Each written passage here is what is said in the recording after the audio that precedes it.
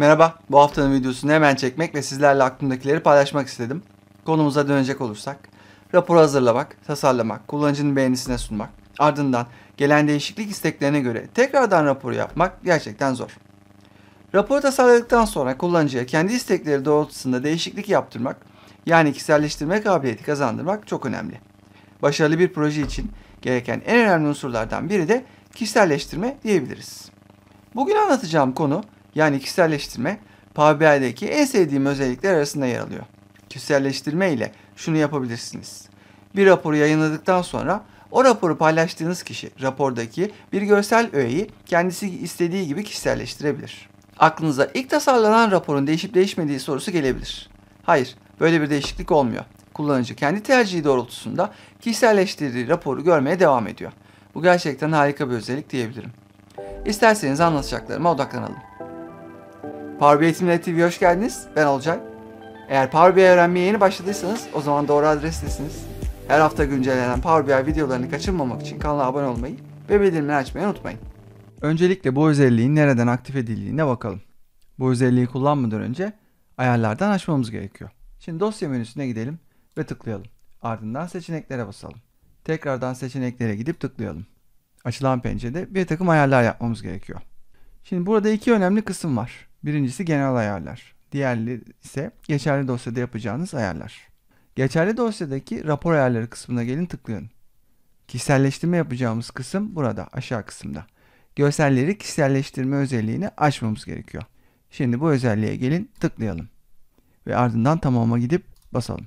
Şu anda daha önce hazırladığım 4 adet grafiği görüyorsunuz. Örneğin harita grafiğinin üzerine geldiğinizde kişiselleştirme yapmak için kullanabileceğiniz simgeyi görmüşsünüzdür. Bu şu demek oluyor. Raporu yayınladığınızda bu raporu kullanan kişi bu görsel öğeyi kişiselleştirebilir.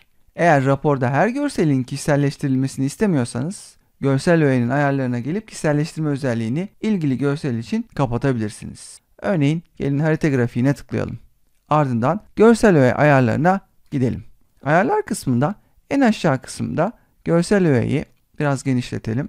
Evet, görsel öğenin üst bilgi kısmında bu kısmı genişletirseniz daha fazla seçenekler karşınıza çıkar. Mouse'u kaydırıp en alt kısma gelebilirsiniz. En alt kısma geldiğinizde görseli kişiselleştir seçeneğini görebilirsiniz. Şimdi bu ayarı kapatalım. Bu grafik yani harita grafiği artık kişiselleştirilemeyecek. Dikkatli bakarsanız tekrar açıp kapadığımda kişiselleştirme simgesinin açılıp kapandığını görebilirsiniz. Harita grafiğini kişiselleştirmeye kapatalım. Peki tüm görselleri tek tek mi ayarlamak gerekiyor? Tüm sayfa için değişiklik yapabilir miyiz? Bu konudan da bahsedelim. Tüm sayfalar için tek bir yerden kişiselleştirmeyi açıp kapatabiliyorsunuz. Sayfada boş bir alana tıklayalım. Daha sonra sayfa ayarlarına tekrar gelelim.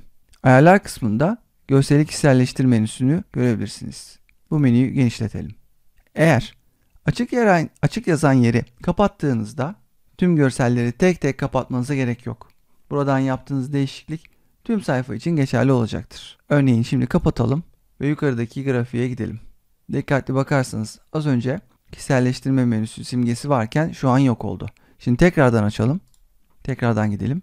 Bakın kişiselleştirme menüsünü görebilirsiniz. Şimdilik açık bırakalım. Kişiselleştirme özelliğini açtığınızda raporu kullanan kişi veri modelindeki tüm tablolara ve sütunlara erişiyor.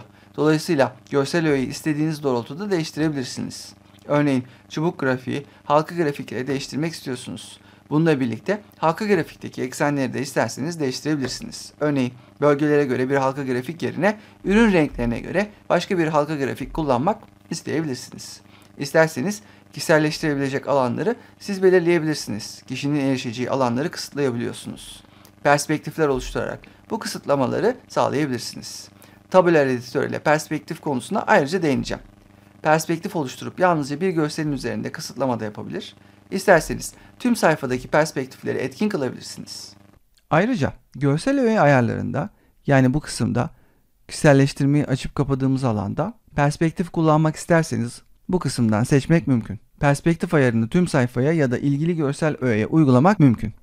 Bu kısımda tüm sayfaya uygula seçeneğini yani ilgili kısımdan perspektif oluşturursanız ardından bu kısımda tüm sayfaya uygula derseniz perspektif ayarını tüm sayfaya ya da ilgili görsel öğeye uygulayabilirsiniz. Ancak bunu yapmadan önce tabular editör ile perspektif oluşturmanız gerekiyor. Ardından bu kısımdan gelip oluşturduğunuz perspektifi seçmeniz gerekiyor.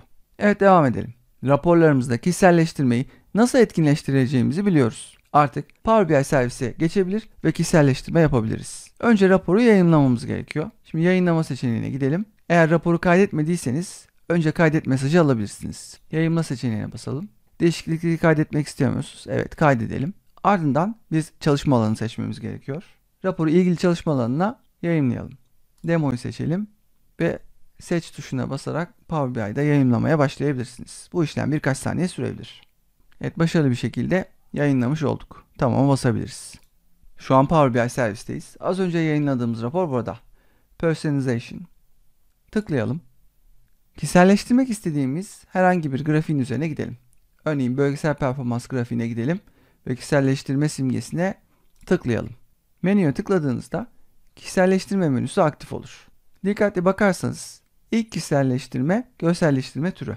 Yani görsel öğeyi değiştirmek isterseniz bu açılan menüden değiştirebilirsiniz. Örneğin sütun grafik istemiyorum. Bunun yerine şerit grafik istiyorum. Şerit grafiğine tıklayalım.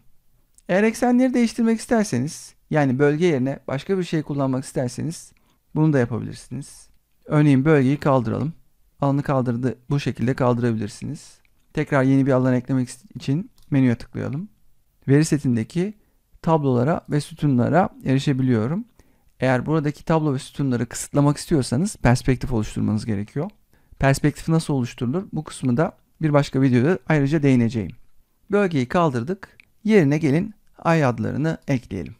Grafikteki değerleri bu kısımdan değiştiriyoruz. Şimdi sipariş sayısını saydırmak yerine gelin başka bir alanı ekleyelim. Önce bu alanı kaldıralım. Diyelim ki sipariş sayılarını görmek istemiyoruz. Bunun yerine brüt marjı eklemek istiyoruz. Yeni bir alan ekleye basalım. Sipariş tablosunu genişletelim ve buradan karı seçelim. Harika. Ayrıca marjları da diyelim ki kategorilere göre detaylandırmak istemiyorsunuz. Bu kısımdan açıklamayı değiştirebilirsiniz. Kategori yerine bölgeleri yerleştirelim. Yeni alan ekleye basıyoruz ve ardından bu kısımdan bakın bölge ayarlarını, alt kategorilerini, teslimat moduna göre, segmentlere göre, region'a göre yapabilirsiniz. Şimdi region'a tıklayalım.